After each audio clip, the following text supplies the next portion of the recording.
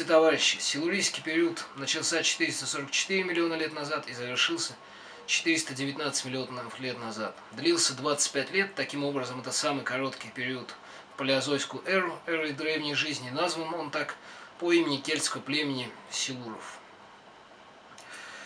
Нижняя граница Силура проходит по появлению в стратиграфических отложениях граптолита Akidograptus ascensus и Parakidograptus praematurus, а верхняя граница по появлению трилобита Warburgella rugulosa rugosa. Силур – это заключительный этап подготовки большого выхода жизни на сушу. Это последние миллионы лет той повестки дня, так сказать, которая была принята в Кембрии. В силурийский период продолжает доминировать суперконтинент Гондвана. К северу от него, ближе к экватору, расположились суперконтиненты Лаврентия, Ангарида и Балтика. Между Гондваной и этими суперконтинентами расположились микроконтиненты Авалония и Казахстане. Почти все северное полушарие занимает океан Панталаса, предшественник Тихого океана. Океан Епетус отделяет Лаврентию от Авалонии и Балтики. Между Балтикой, Ангаридой и Казахстанией расположился Уральский океан.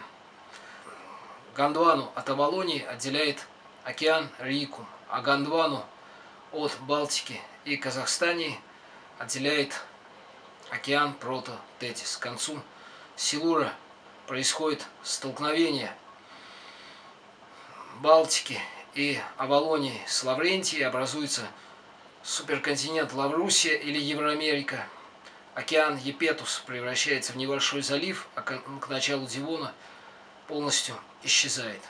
Начало Силура характеризует продолжением ордовикско-силурийского оледенения. После происходит потепление, однако климат на протяжении большей части Силура остается прохладным, и лишь в конце Силура к концу Силура происходит значительное потепление. Средняя температура составляла 20 градусов, это на 5 градусов Цельсия выше, чем современная. Что происходило в это время с животным миром? 60% ордовикских видов не перешли черту Силура. В морях по-прежнему много граптолитов и трилобитов. Среди брюхоногих моллюсков почему-то обладают виды с право закрученными раковинами. Расцвета достигают такие классы иглокожих, появившиеся еще в Ордовике, как морские ежи, афиуры, бластоидеи. Велико было разнообразие брахиопод. Продолжают процветать примараковинные наутилоидеи и ракоскорпионы. Эвриптерус имеет устрашающие шипы на ногах, и к концу силуры некоторые раскоскоплены обзаводятся легкими и выходят на сушу, впоследствии они станут предками современных скорпионов. Появляются в Силуре настоящие кораллы, но пока в середине Силура где-то, но пока они живут по одиночке. Здесь по-прежнему множество бесчелюстных, в частности можно назвать оснопанцирных, и среди них такой вид привести, как цефаласпис, беспанцирных или анаспидов, у которых был очень слабый экзоскелет. Таких можно назвать э, бесчелюстных, как гетеростраков, которые появились еще в Кембрии, и галиаспидов, которые появились в Силуре. Некоторые данные, между прочим, с английского для вас перевожу. Появляются в Силуре рыбы, которых современные исследователи относят к хрящевым, акантоды или колючка зубы, названные так благодаря их теодорулитам, шипам, предваряющим плавники, кроме хвостового, служили эти шипы, видимо, для защиты от хищников. У них зубы лишены эмали, в отличие от современных хрящих рыб, акул и скатов. У акул и скатов зубы происходят с плакоидной чешуи, покрытой эмалью, а чешуя у акантот была ганоидного типа.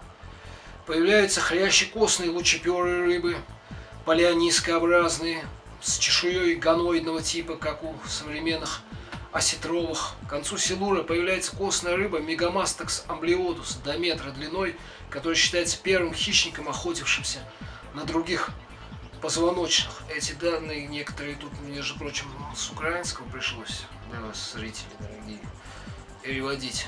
Особо следует отметить появившиеся на суше растения, в частности куксония. У нее были ветвящиеся стебли без листьев, на верхушках которых располагались лукович, луковицеобразные споранги. Куксония обзавелась кутикулой, предохраняющей ее от высыхания. В ее восковой оболочке имелись устицы, регулирующие испарение и газообмен это было сосудистое растение, которое жило по заболоченной местности. Куксони достигал высоты 5 сантиметров. По всей видимости, жили в силуре псилофиты, достигавшие до полуметра высотой. Но основными, самыми крупными наземными организмами силура были прототокситы, гигантские грибы высотой до 8,8 метров, диаметром 1,37 метров, гетеротрофные, они имели трубчатое строение, срез их обнаруживает нечто вроде годичных кольцев колец деревьев. Я упоминал о существовании на суше рака скорпионов. Скажу также, что появились на суше и панцирные пауки. Тоже с английского, между прочим, переводил кое-что. От 2 до 5 сантиметров длиной достигали панцирные пауки. Таким образом, к концу Силура можно отметить, что выход жизни на сушу состоялся. Позвоночные уже могли позволить себе охотиться друг за другом. Следом за пионером суши на новую территорию последуют колонисты массами. Наступал Дивон. Век рыб, век первых четвероногих наших предок, предков, век массовой колонизации суши. Все это происходило довольно быстро. Спасибо за внимание.